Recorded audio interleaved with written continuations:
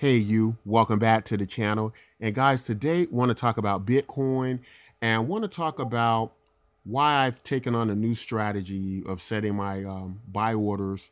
I've stopped the dollar cost averaging down and I've set my buy orders at about $1,800 per Bitcoin. And I'm going to tell you why that is. Um, we're going to get into that a little bit in this video. So if you watch my channel, you've probably heard what some may deem to be quite a pessimistic view of the value of Bitcoin. And uh, I don't want to have that view of Bitcoin. Uh, this is based on uh, economics, um, studies done into Bitcoin based on supply and demand. And those are rules in economies that I do not break. Uh, supply and demand rules. And so it's important to understand that uh, whenever um, you know we discuss uh, the value of cryptocurrencies, that you do your own research and all do do and all do due diligence. Well, I'm getting choked up today, aren't I? Um, and hopefully, I'm going to be able to bring some good news before the video is over uh, with the price of Bitcoin and why I've done this. But let's let's talk look a little bit about the supply and demand because we have to we have to accept supply and demand factors in markets because if we cannot ascertain uh, true value in some form or agree upon a value, then we're going to, you know, continually, of course, have uh, big market fluctuations that aren't going to be good uh, to many investors. And so let's try to understand a little bit about what we've been able to find on the history of the supply and demand factors of Bitcoin. So when we when we speak of demand and we and we talk about demand in earlier videos, uh, many Bitcoin experts have been able to kind of come to the conclusion that Bitcoin was at its most stable price around the eight hundred to one thousand dollar mark due to it being this was pre um, China's intervention into Bitcoin and the dominance it has in Bitcoin and control it has over Bitcoin today with the uh, with the mining operations, and we're going to get into that as well a little bit. But uh, when did when there was a what many believe to be a a real demand for Bitcoin, it was around eight hundred to thousand dollars, and of course, this had a lot to do with hyperinflation, and it had to do um, with um, certain uses of Bitcoin, whether it be people trying to protect their money from certain oppressive uh, regimes um, uh, hyperinflation. Uh, and I, I, guess I can even throw in uh, illegal activity, right? At the time, it was you know being used for that uh, for the most part. But uh, these certain factors make a lot of people believe that there was a certain point in time when China gained dominance over the mining of Bitcoin that a lot of these prices began to be more of an artificial display of supply and demand. So let's look at some statistics and let's let's discuss some real numbers here and, and try to see if we can understand this. So what we're looking at is this is a chart of what it costs each region, each area to mine Bitcoin, right? Each country.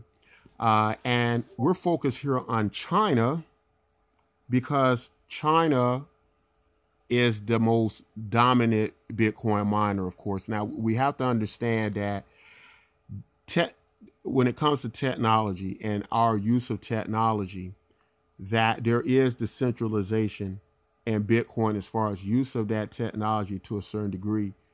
Uh, however, there are differences in decentralization when it comes to mining, when it comes to develop developers, right? And so what this does is it it creates a kind of a monopoly, if you will, that can create types of price control, right?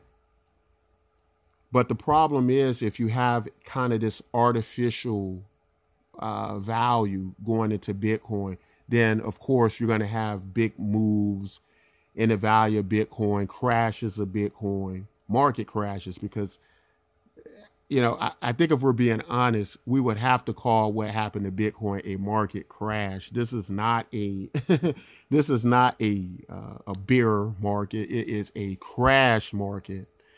And so, looking at some real numbers here, if we look at China, it comes out that China it only requires or it only costs about thirty one hundred dollars to mine a Bitcoin, right?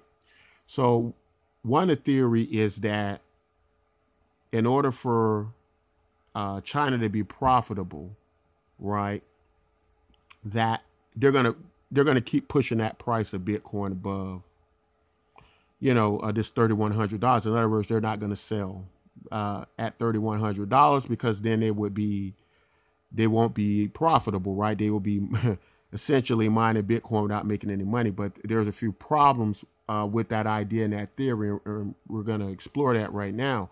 So one uh, problem with that idea is that, as you can see, it costs different amounts around the globe to to mine Bitcoin. Right? You go over here to um, South Africa, it's over five thousand dollars. You get to Latvia, is seven thousand dollars. It's twelve thousand dollars in Kiribati. Uh, twenty six thousand dollars some places around the globe.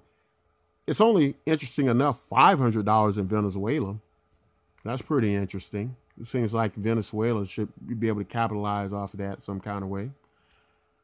But the problem is this takes into consideration less efficient mining uh, mining equipment, right? Mining rigs.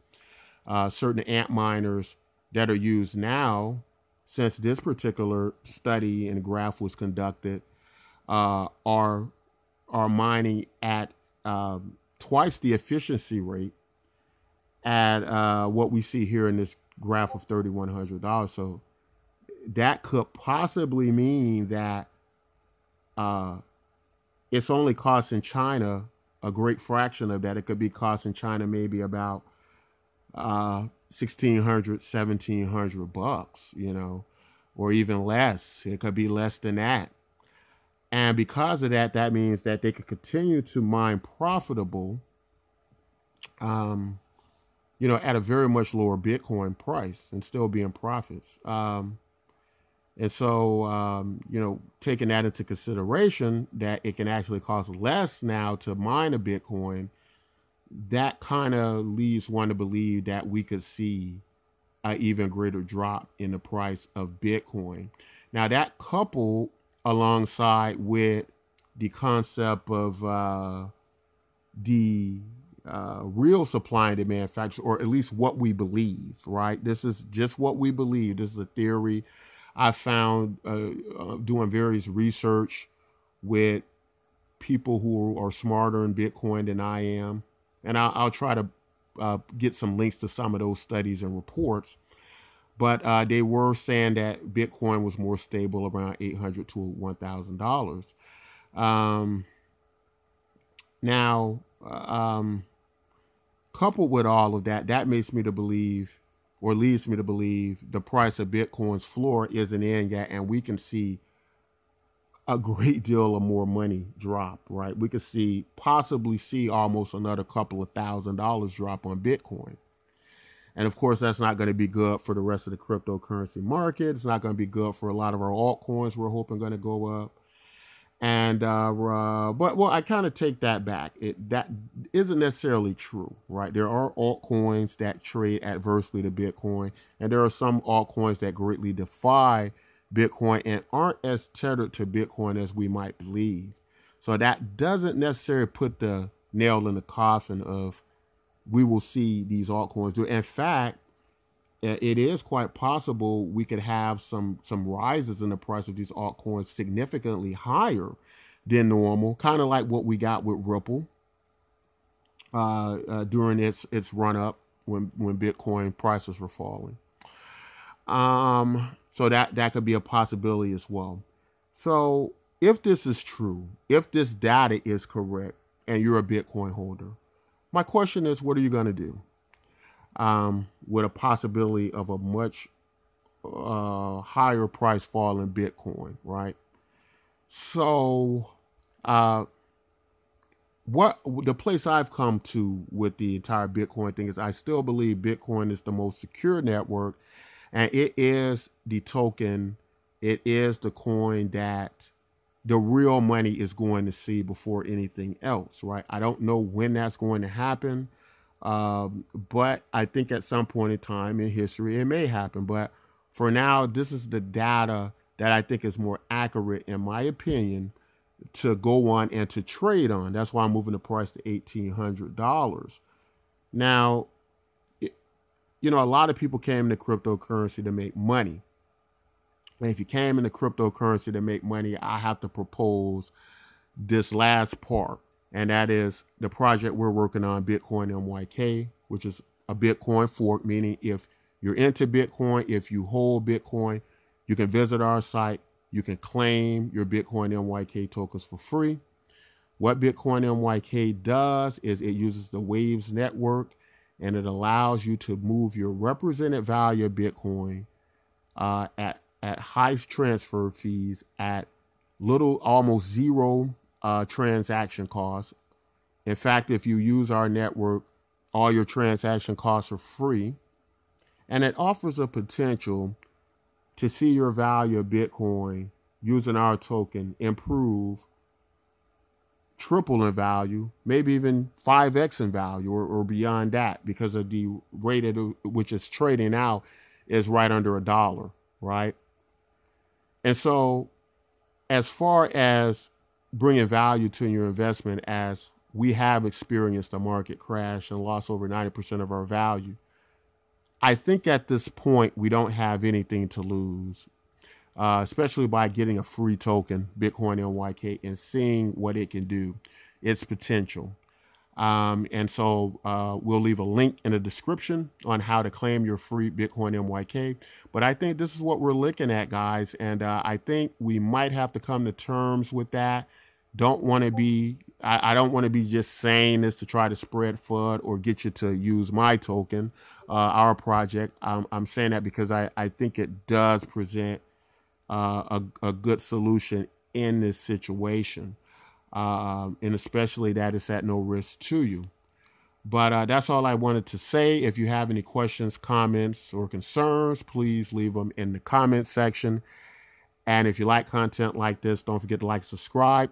Until next time, guys, take care.